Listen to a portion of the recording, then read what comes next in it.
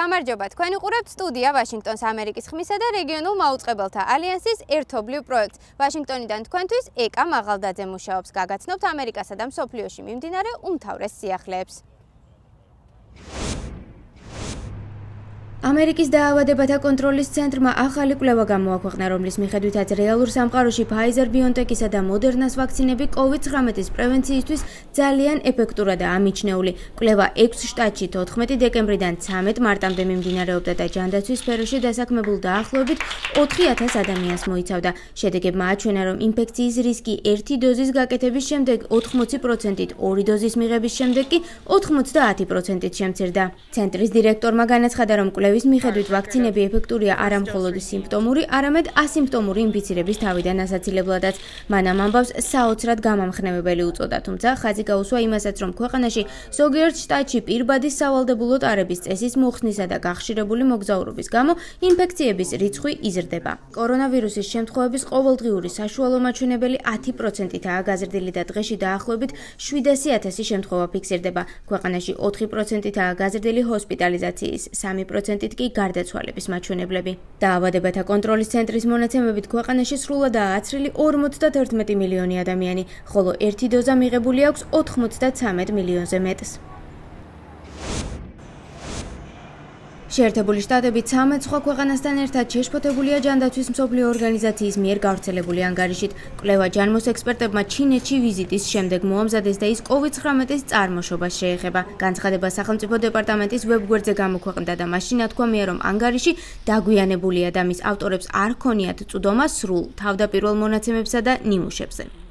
ანგარიში ჯანდაცვის სოფლიო ორგანიზაციამ სამშობად გამოაქვეყნა და თქვა, რომ ვირუსის წყარო ვერ დადგინდა. ჯგუფის წევრებმა განაცხადეს, რომ ვუჰანში ვიზიტისას მათ ჰქონდათ სირთულეები, როცა საქმე თავდაპირველ მონაცემებზე წვდომას შეეხებოდა. კვლევრები ასევე აიძულეს რამდენიმე დღე დაეცადათ, სანამ საბოლოო თანხმობას მიიღებდნენ ვუჰანში შესვლისთვის.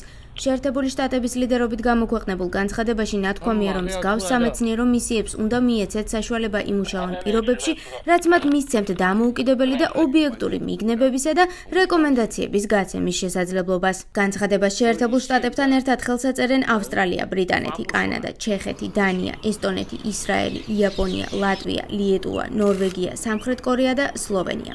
ჯანდაცვის მსოფლიო ორგანიზაციის გენერალური დირექტორი ტედროს ადჰანომ გებრეიუსი კი ამბობს, რომ უფრო მეტი კვლევა და მონაცემებია საჭირო იმისთვის, რომ დადგინდეს მოხდა თუ არა ვირუსის ადამიანებზე საკვები ჯაჭვის თუ გარეული სხვა ცხოველების მეშვეობით გადადება.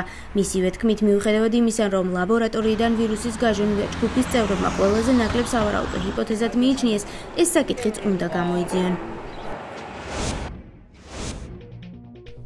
გასული დეკემბრის შუა რიცხვებში ამერიკის შეერთებულ შტატებში ამ დრომდე ყველაზე დიდი კიბერთავდასხმა მოხდა. თავდასხმის მასშტაბები უპრეცედენტო იყო და ზარალდა განსაკუთრებით ბევრი სახელმწიფო უწყება, მათ შორის ამერიკის ენერგეტიკის დეპარტამენტიც, რომელიც ეროვნული ბირთვული უსაფრთხოების სააგენტოს აკონტროლებს.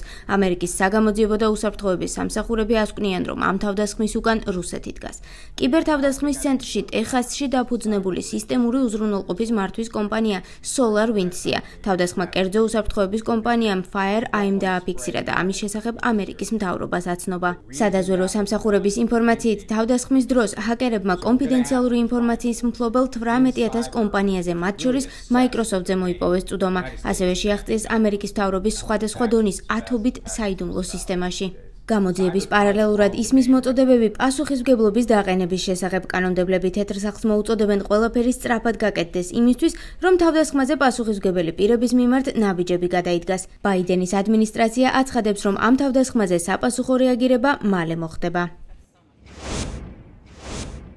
დღეისათვის სულ ეს იყო. თქვენ უყურებდით ამერიკის ხმისა და რეგიონულ მაუწყებელთა ალიანსის ერთობლივ პროექტს სტუდია ვაშინგტონს, რომელიც ეთერში ყოველ სამუშაო დღეს გადის. ვაშინგტონიდან თქვენთვის ეკა მაღალდაძე მუშაობდა. ჩვენი ამ და სხვა გადაცემების ნახვა ნებისმიერ დროს შეგიძლიათ ვებგვერდზე ამერიკის ხმა წერტილი.com სიახლეებისთვის თვალისადენობლად კი შემოგვიერთით Facebook-ის, Instagram-ისა და Twitter-ის გვერდებზე. მე მომავალ შეხვედრამდე გემშვიდობებით. დროებით.